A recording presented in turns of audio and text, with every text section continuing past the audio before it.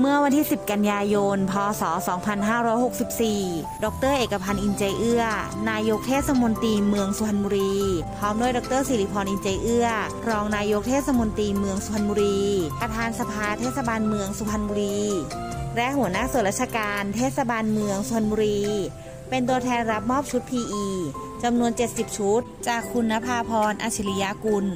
โดยบริจาคให้กับบุคลากรด่านหน้าของเทศบาลเมืองสุพรรณบุรี ณ ห้องประชุมสภาเทศบาลเมืองสุพรรณบุรี